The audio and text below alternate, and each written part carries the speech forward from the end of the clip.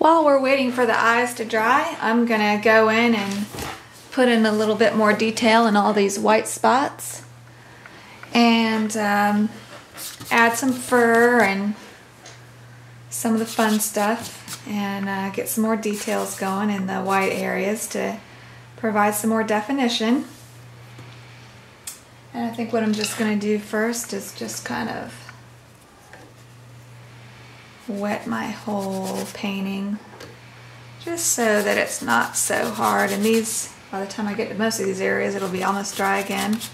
This will help keep things soft.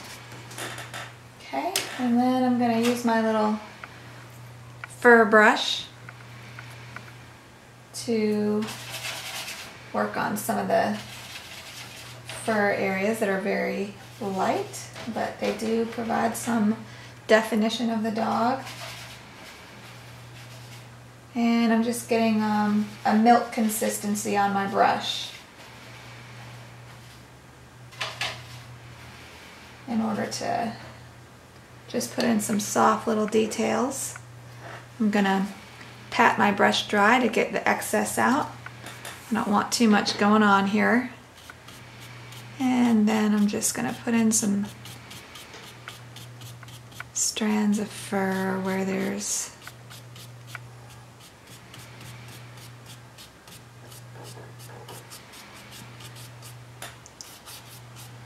This is his tail that he's got wrapped around his nose. I don't know how much you can tell from the picture I posted on the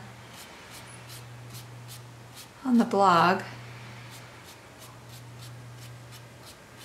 But he's got a little, he's got a very furry tail.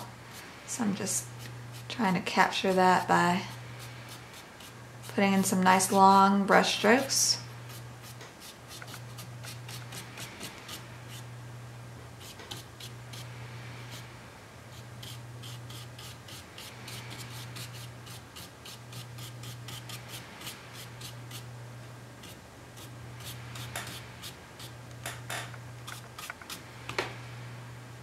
Okay, and then there's some shadows over here on his leg that are a little darker than what I've already got.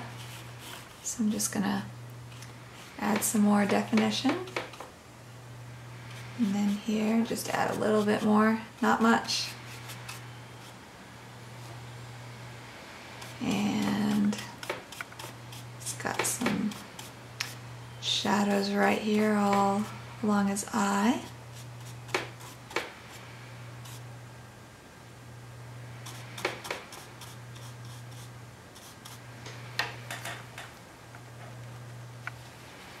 Get more blue.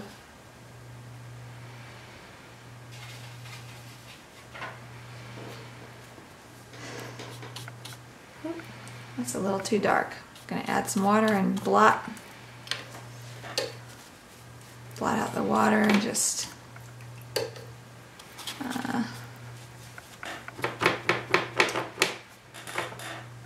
let's try that again. I don't want it quite so dark just enough to give some definition. Okay, that's better. And then this area is pretty much all in shade up here.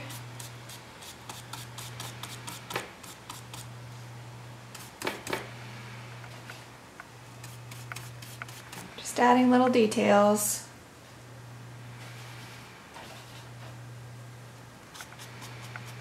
Got to really watch your tones because they help a lot with defining the contours of any kind of shape, including those of a dog. Okay. And there's some ground showing over here. That's going to further define this edge, so It's all ground in there and it's okay that that's soft because we definitely don't want the focus of the painting to be the legs so that this is really soft is fine. I'm using my paper towel to just blot where I don't want the paint to go. I'm going to get a little bit thicker so that I can really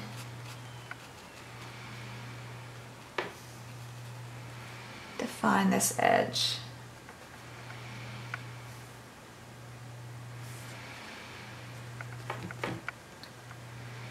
Okay.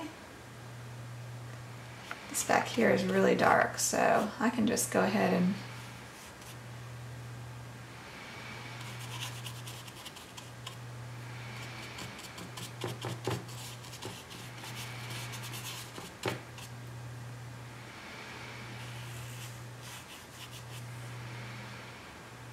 put that in like that. What I'll probably do when I do my final stages is go over this whole area with a wash of grayish blue just to push all this back because this is still too white. It's popping out too much. And um, this looks kind of weird. In the picture it makes sense because you can totally see that it's a dog, but or a dog's leg, but it's kind of confusing in this painting. If I help put a shadow across here, put in some darker blues down in here, make it all kind of blend together a little bit more so there's not so much attention. Right now there's a lot of attention to this area that I really don't want there because the leg is not where I want you to focus. I'll probably get rid of this white area. In the picture, this is a sunlit area on his leg. But as an artist, that is not what I want because these contrasts are too strong and I don't want the attention drawn there. So I'll go over there later and do a whole wash of blue over all this. So his this area will pop out, not this area, if that makes sense.